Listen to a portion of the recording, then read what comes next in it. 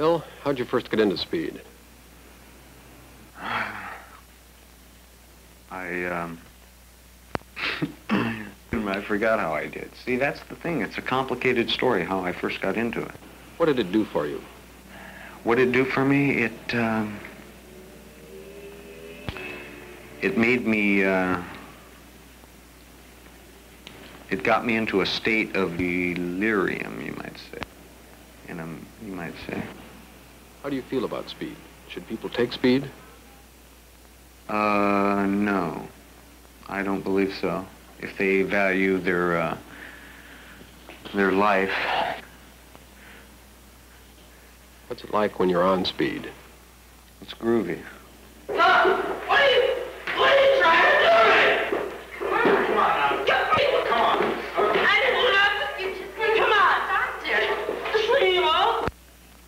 All right, busy. Mm-hmm. It's like sitting in a still room with nothing to do. It drives you crazy.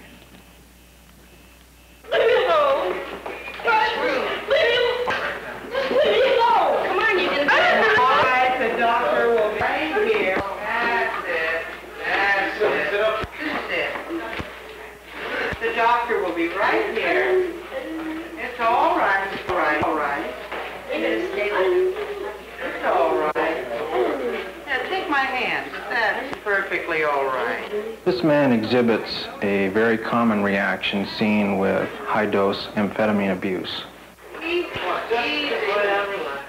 He is anxious, agitated, disturbed, and acutely frightened.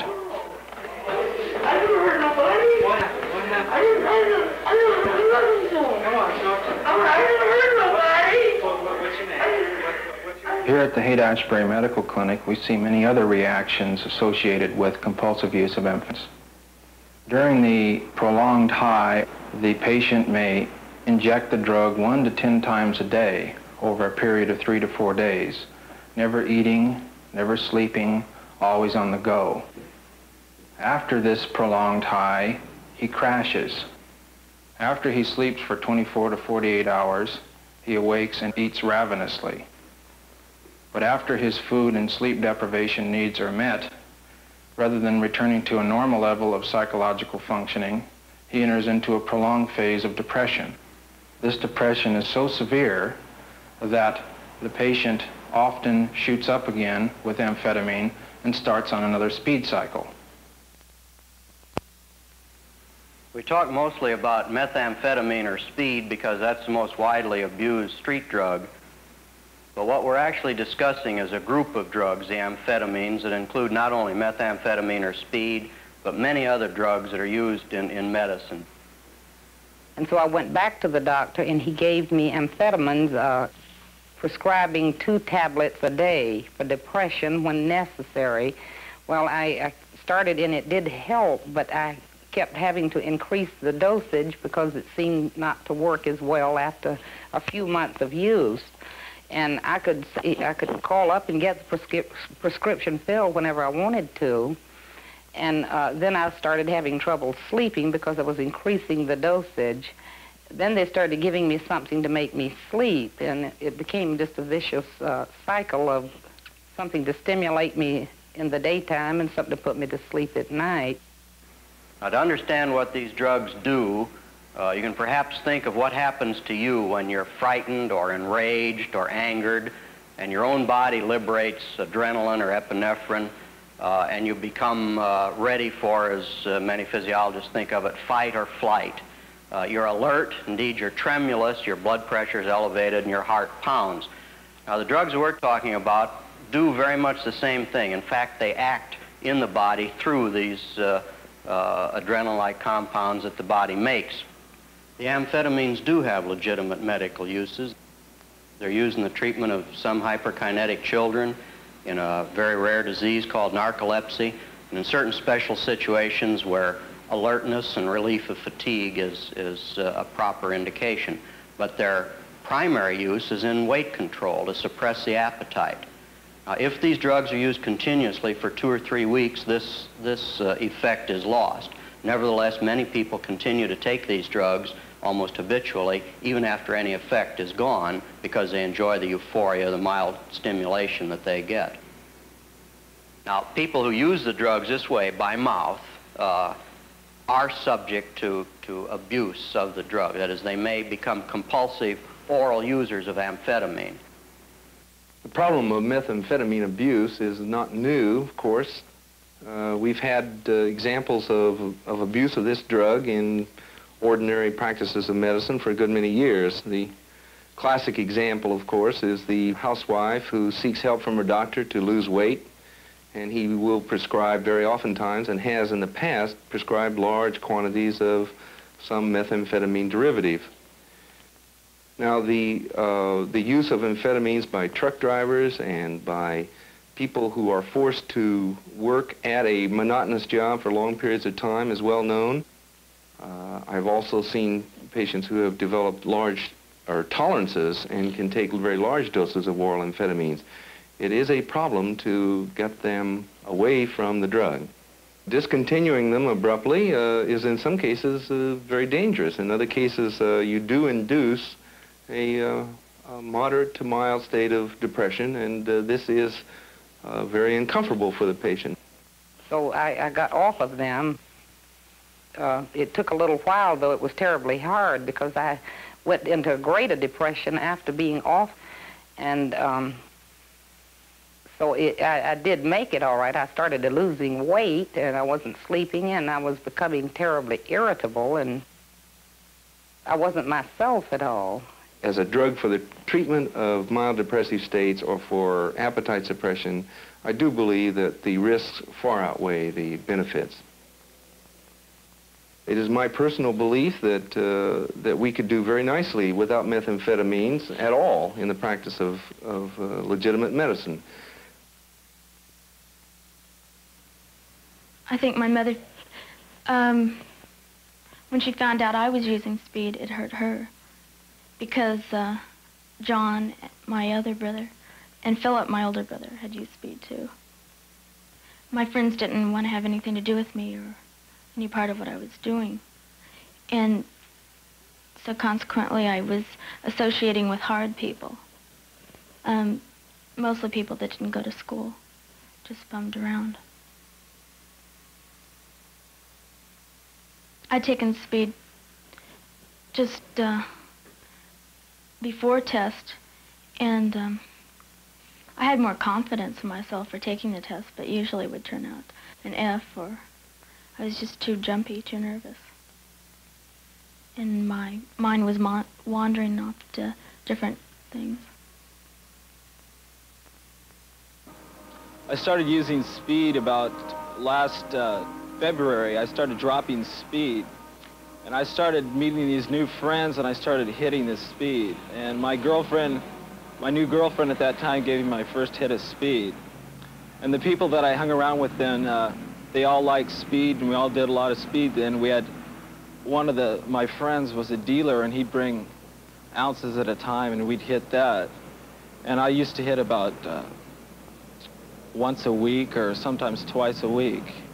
And I continued all during this summer using speed. We all did. And something happened, and uh, a friend of mine almost died from speed. Yeah. He overamped, and you know he couldn't breathe, and his heart was just going at a rapid rate, and so that scared a lot of us. And we all quit speed, but then some started again. It is my feeling that every high school has its colony of kids who are still active students, but who are so far along into the abuse pattern uh, that they are destined certainly to wind up in a place like the Haight-Ashbury. A speed user does not function in his, in his social environment very long. The home is the last place where he can function. In our experience, there seems to be no particular type of individual who gets involved in the, in the speed scene. And speed users range all the way from ghetto people to, um, to very upper class individuals. I would say that perhaps the majority of, of kids who are down here in the Haight-Ashbury using speed come from middle class backgrounds. Uh, one of the things that we've been interested in, in looking at is the whole lifestyle of people who become involved in the drug and kinds of things that they have to go through in order to buy the drug.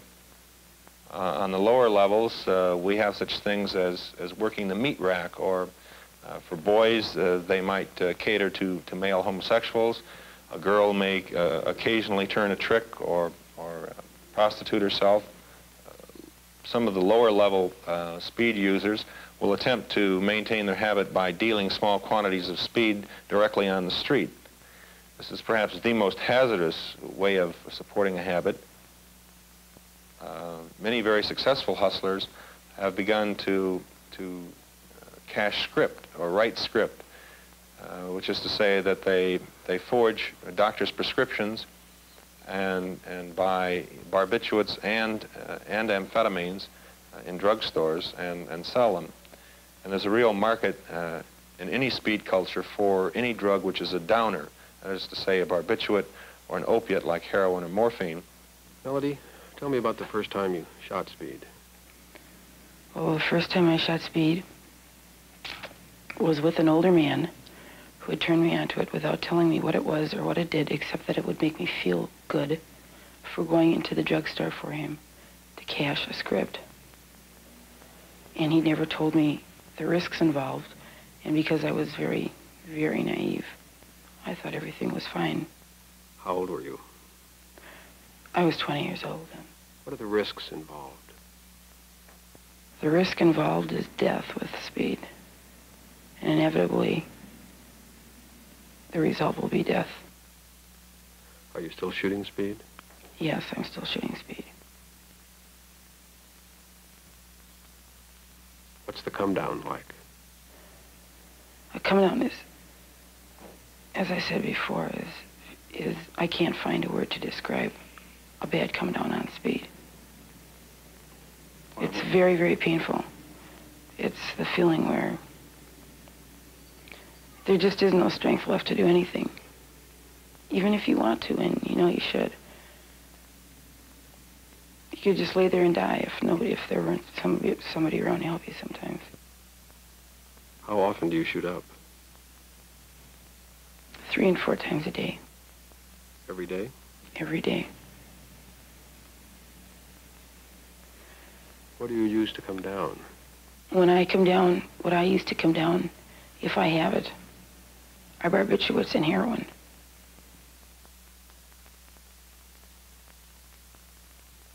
In addition, prolonged use of the amphetamines produces very serious physical problems. The injection of amphetamine produces hepatitis. One sees abscesses at the injection site. In addition, malnutrition, skin problems, and a whole variety of other very serious physical problems. In general, the physical and psychiatric damage done by compulsive use of amphetamines is much greater than that with marijuana and LSD put together. Well, I shoot speed, I've shooting speed lately, doing concentrate solutions to the point where it's like boiling lead going up your arm and your head explodes into like an oversized warm balloon. Yeah, you nod for a few minutes from overstimulation, you're wired for three days. And dig, go around digging through trash cans and other people's belongings and things like that, you know. And uh, it's just a heavy involvement in unreality. now, right now I'm loaded on uh, two kinds, no, three actually, three different kinds of speed: heroin, LSD, psilocybin weed, uh, something else. Oh yes, and a few barbiturates. That's invaluable. I went on a bender last night and today. Couldn't even tell you what day it is. What's the worst part of speed? Worst part of it? Hmm. Wow, it's hard to say. The worst part of it would probably be uh, all the hang-ups and, and, and uh, hassles of, uh, of, an, of functioning without any real sense of actual time and never being able to rely on anyone because they're always hung up too. Inconsistency of life as such. And of course, all those paranoid trips and everything are kind of a bummer too. In addition to the anxiety reaction seen during the prolonged high, we often see an amphetamine psychosis, characterized by auditory and visual hallucinations in which the individual hears and sees things, paranoia, in which he may feel that people in his environment are threatening to hurt him. And it's this paranoia that produces a great deal of violence. Oh, I shot. Hey, come on. What were oh. We've studied the effects of amphetamine on mice. At high dosages, amphetamine produces death by convulsion. However, at lower dosages, when the mice are in groups, death also can result in many of the animals, primarily because they become violent, aggressive, fight, inflict wounds, and literally kill each other.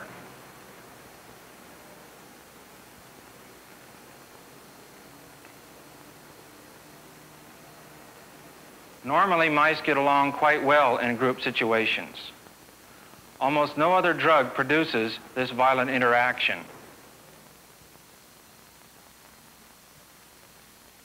Drugs are not uh, taken just in uh, the teenage slum or hirsute ghetto like the Haight-Ashbury. Come on now. Let's do this. Come on. Leave me alone. Leave, leave me alone. That's all right. Drugs are being used everywhere in the country. Uh, the hepatitis, the dirty needle, uh, the chemical effect on the liver itself, the, the brain damage, the weight loss, the bad gums, the skin abscesses, on and on and on. Speed kills, all right, but it doesn't do it very fast, and there's a lot of, uh, there's a lot of uh, agony and pain in the process.